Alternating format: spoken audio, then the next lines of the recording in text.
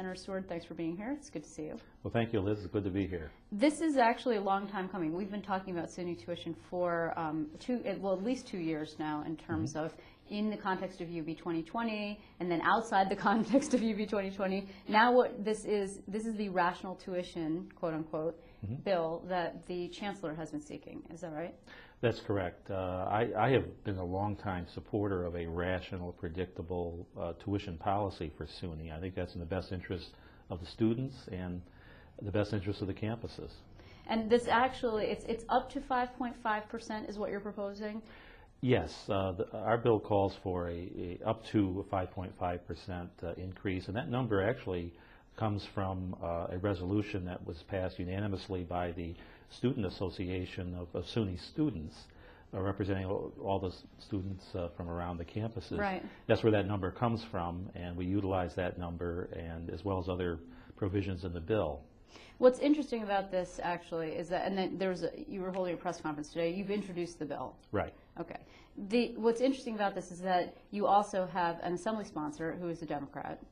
Yes, uh, Crystal uh, Peoples-Stokes from the Buffalo area. Right. And that's sort of ground zero for the discussion uh, about, because of UB 2020, for the discussion about how uh, the SUNY system can be an economic driver, how it, it can specifically help redevelop downtowns like Buffalo, which is in need of it, and then how tuition can be used um, to help drive those kind of projects. The problem is that the Assembly Democrats haven't seen, haven't seemed up until this point too terribly interested. So uh, has that changed?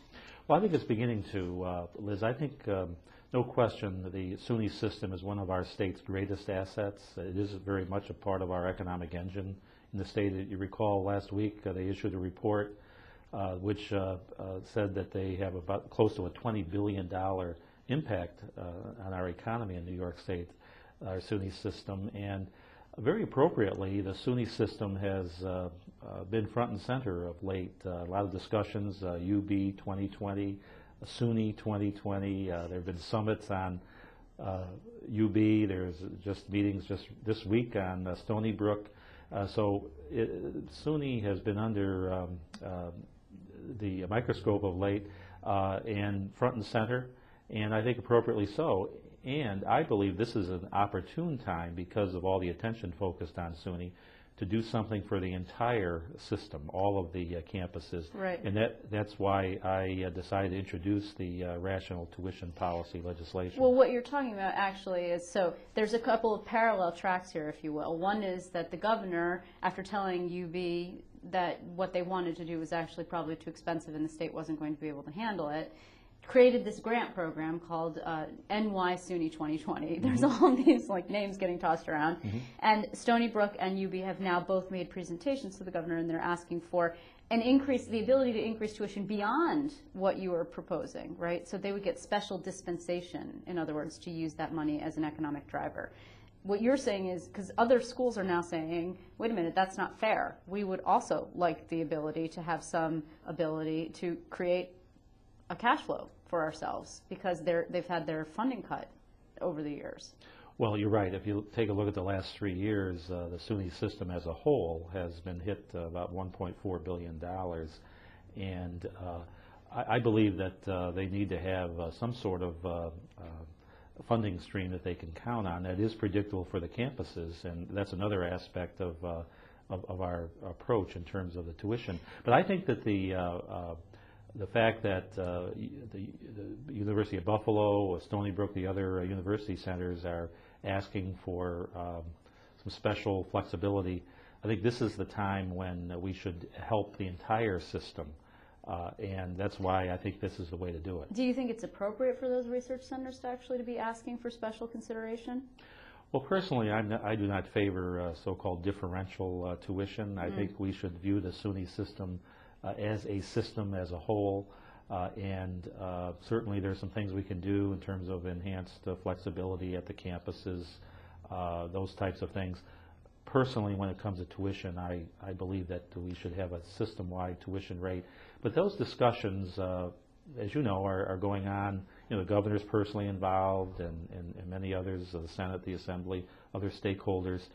But I, I think this is uh, a time when, no matter what happens to those talks in terms of the university centers, it's, this is the time to do something for the entire system. And that's, that's, that's the, that's why I introduced the legislation uh, with uh, Assemblywoman uh, Peoples-Stokes, to get, get the uh, other campuses, some of their needs on the table as well. The Speaker of the Assembly, who had previously, as I mentioned, the conference was, was uh, concerned about putting the cost of education out of reach, of a SUNY education out of reach, particularly for kids who come from low to middle income families.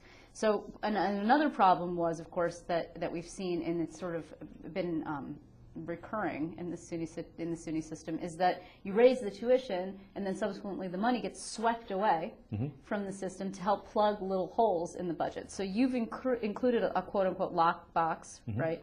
And also uh, the elimination of the possibility of sweeping the money. And the speaker made comments that that was something that he thought that he needed to see before he was able to approve something like this, to support it. Do you know now that the speaker is able to support this bill? Well, the, uh, the speaker uh, just uh, yesterday did uh, indicate uh, uh, some support for a tuition policy. Uh, The governor has been talking about uh, the same concept. Uh, So I'm cautiously optimistic we can move forward. But as you point out, there's a lot more to this legislation and this approach than simply, you know, setting the rate of uh, tuition in a predictable uh, manner. Right. That is uh, the lockbox, to make sure that uh, the tuition dollars stay with the SUNY system and with the campuses where they're generated.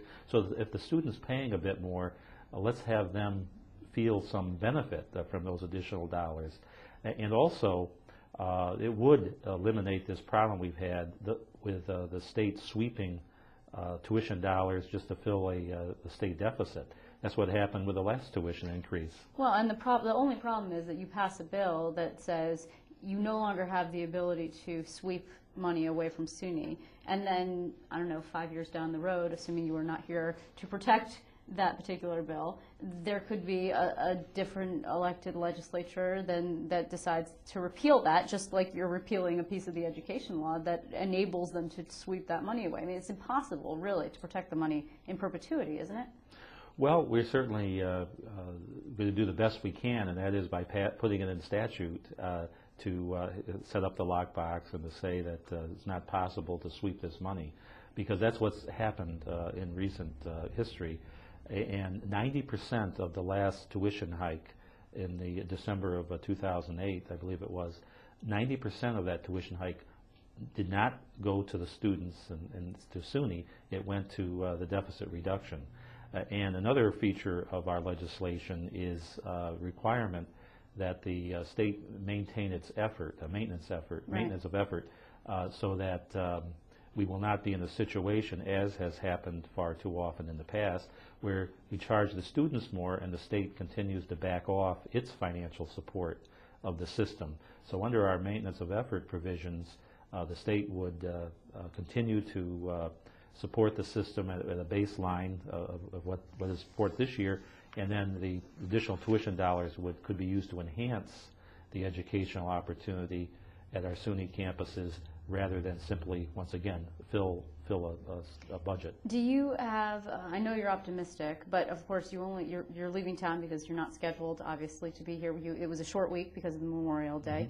You've only got, I mean, eight days left. June 20th is the last day. Uh, so many things on the legislature's plate. Uh, Where in the pantheon of those things that are left to do, do you believe that this falls? Well, I think it's high on the list. Uh, The governor has been uh, giving personal attention to the uh, presentations of uh, University of Buffalo, Stony Brook. Uh, there- there- This is a- a front burner issue for the administration, it would it would appear. The speaker is beginning to indicate his support for this general concept. In the Senate, uh, this legislation has been reported out of the Higher Education Committee to the Finance Committee, so it's, it's uh, certainly has support in the Senate. I'm working very closely with the chairman of the Higher Education Committee, uh, Senator LaValle, on this uh, endeavor. Uh, So uh, that leads me to be cautiously optimistic that something can be done to not only benefit certain select campuses, such as our university centers, but something that will benefit the system as a whole. Well, we shall see, of course, but I want to thank you in the meantime, Senator Seward, for coming in to talk to us about it. It- It's something that I know that a lot of viewers have been following because we've got a lot of campuses in the viewing area, so. Absolutely. It's, it's, SUNY is one of our greatest assets. Let's help it uh, to be even more so.